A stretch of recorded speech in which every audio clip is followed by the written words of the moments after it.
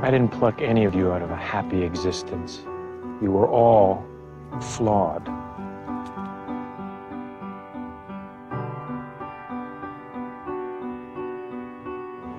You were all alone.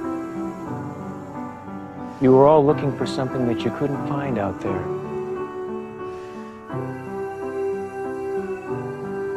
I chose you because you needed this place as much as it needed you.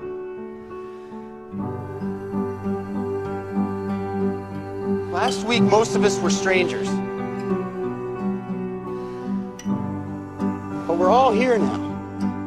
And God knows how long we're going to be here. But if we can't live together,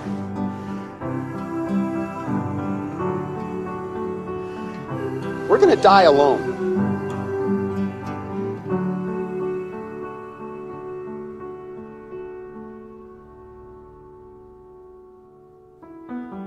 The most important part of your life was the time that you spent with these people. That's why all of you are here. Nobody does it alone, Jack. You needed all of them, and they needed you.